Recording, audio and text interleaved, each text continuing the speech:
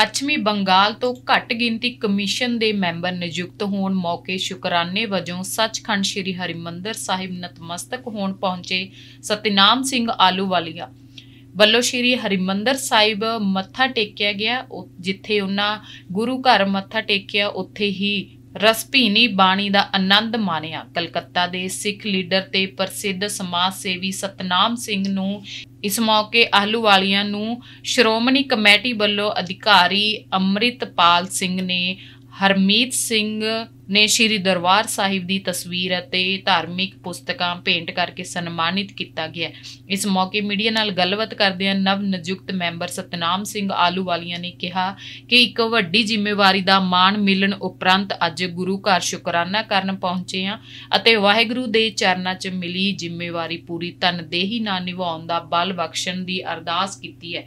ਉਹਨਾਂ ਕਿਹਾ ਕਿ ਉਹ ਬੰਗਾਲ 'ਚ ਘੱਟ ਗਿਣਤੀਆਂ ਦੇ ਹੱਕ 'ਚ ਆਵਾਜ਼ ਬੁਲੰਦ ਕਰਨ ਅਤੇ ਉਹਨਾਂ ਦੀ ਬਿਹਤਰੀ ਲਈ ਹਰ ਸੰਭਵ ਯਤਨ ਕਰਨਗੇ। ਉਹਨਾਂ ਬੰਦੀ ਸਿੰਘਾਂ ਦੀ ਰਿਹਾਈ ਲਈ ਵੀ ਸਰਕਾਰਾਂ ਨੂੰ ਅਪੀਲ ਕੀਤੀ ਹੈ। ਹੋਰ ਉਹਨਾਂ ਨੇ ਕੀ ਕਿਹਾ? ਆਓ ਸੁਣਦੇ ਹਾਂ ਪੂਰੀ ਖਬਰ।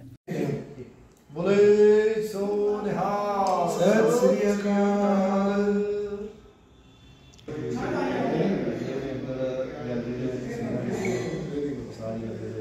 ਇਹ ਜੀ ਹੋਰ ਵੀ ਕਿਤਾਬਾਂ ਬਹੁਤ ਲਿਖੀਆਂ ਨੇ ਇਹ ਮੇਰੀ ਲੇਟੈਸਟ ਹਾਂਜੀ ਹਰਿਮੰਦਰ ਸਾਹਿਬ ਮੱਥਾ ਜ਼ਿੰਮੇਵਾਰੀ ਮਿਲੀ ਹੈ ਜੀ?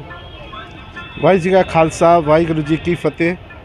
ਮਹਾਰਾਜ ਦਾ ਬਹੁਤ ਬਹੁਤ ਸ਼ੁਕਰਾਨਾ ਹੈ ਕਿ ਦਾਸ ਨੂੰ ਵੈਸਟ ਬੰਗਾਲ ਮਾਈਨੋਰਿਟੀ ਕਮਿਸ਼ਨ ਦਾ ਸਿੱਖ ਰਿਪਰੈਜ਼ੈਂਟੇਟਿਵ ਚੁਣਿਆ ਗਿਆ ਹੈ। ਔਰ ਜਦ ਮੈਨੂੰ ਪਤਾ ਲੱਗਿਆ, ਮੈਨੂੰ ਅਨਾਉਂਸਮੈਂਟ ਹੋਈ, ਪਹਿਲੀ ਗੱਲ ਸੀਗੀ ਕਿ ਦਰਬਾਰ ਸਾਹਿਬ ਆ ਕੇ ਮੱਥਾ ਟੇਕਾਂ।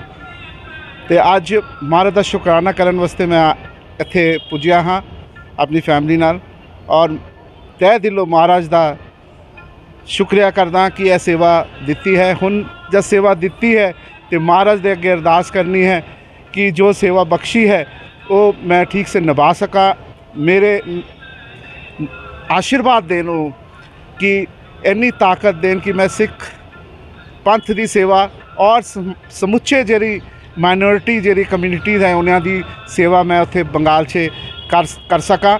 ਔਰ ਕੋਸ਼ਿਸ਼ ਕਰਾਂਗਾ ਕਿ ਜਿੰਨੀ ਦੇਰ ਤੱਕ ਮੈਂ ਇਹ ਪੋਸਟ 'ਚ ਹਾਂ, ਮੈਂ ਹਰ ਬੰਦੇ, ਕੋਈ ਵੀ ਮਾਈਨੋਰਿਟੀ ਹੋ, ਚਾਹੇ ਉਹ ਸਿੱਖ ਹੋ, ਜੈਨ ਹੋਏ, ਬੁੱਧਿਸਟ ਹੋਏ, ਮੁਸਲਿਮ ਹੋਏ, ਸਭ ਦੀ ਸੇਵਾ ਦੇ ਵਿੱਚ ਮੈਂ ਹਾਜ਼ਰ ਰਵਾਂਗਾ।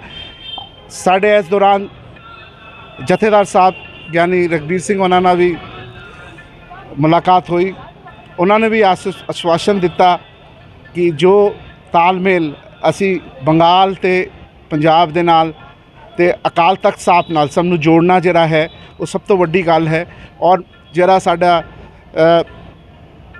ਗੁਰੂ ਦੇ ਨਾਲ ਜੋੜਨ ਦੀ ਗੱਲ ਹੈ, ਉਹ ਅਸੀਂ ਇੱਕ ਪ੍ਰੋਗਰਾਮ ਉਡੀਕ ਰਹੇ ਹੈਗੇ, ਜੋ ਫੈਬਰੂਰੀ 'ਚ ਅਸੀਂ ਉੱਥੇ ਕਰਾਂਗੇ ਔਰ ਫਿਰ ਲਗਾਤਾਰ ਐਸਾ ਪ੍ਰੋਗਰਾਮ ਜੋ ਕਿ ਹਰ ਸੰਗਤ ਦਾ ਜਿਹੜਾ ਬੰਦਾ ਹੈ, ਬੰਗਾਲ ਕਿਉਂ ਈਸਟਰਨ ਰੀਜਨ ਦਾ, ਜਿਹੜਾ ਉਹਨਾਂ ਨੂੰ ਇਕੱਠੇ ਕਰਕੇ ਔਰ ਗੁਰੂ ਨਾਲ ਜੋੜਾਂਗੇ, ਅਕਾਲ ਤਖਤ ਨਾਲ ਜੋੜਾਂਗੇ, ਕਿਉਂਕਿ ਸਾਡਾ ਜਿਹੜਾ ਸਭ ਤੋਂ ਵੱਡਾ ਸਥਾਨ ਹੈ, ਉਹ ਦਰਬਾਰ ਸਾਹਿਬ ਸ੍ਰੀ ਹਰਮੰਦਰ ਸਾਹਿਬ ਹੈ ਔਰ ਅਕਾਲ ਤਖਤ ਸਾਹਿਬ ਹੈ। ਤੇ ਅਸੀਂ ਇਹੋ ਕੋਸ਼ਿਸ਼ ਰੱਖਣੀ ਕਿ ਇਹ ਜਿਹੜਾ ਸੰਪਰਕ ਹੈ, ਉਹ ਕਾਇਮ ਰਹੇ ਔਰ ਗੁਰੂ ਦੀ ਅਸ- ਅਸੀਸ ਲੈ ਕੇ ਜਿਹੜਾ ਵੀ ਕੰਮ ਆਏ, ਜਿਹੜਾ ਸੰਗਤ ਵੱਲੋਂ ਜਿਹੜਾ ਵੀ ਕੰਮ ਲੈ ਕੇ ਆਣ ਉਹਨੂੰ ਅਸੀਂ ਪੂਰਾ ਕਰ ਸਕੀਏ। ਬੰਦੀ ਸਿੰਘਾਂ ਦੀ ਵਿਹਾਈ ਨੂੰ ਲੈ ਕੇ ਸਰਕਾਰ ਦੇ ਨਾਲ ਤਾਲਮੇਲ ਗੱਲ ਕਰੋ।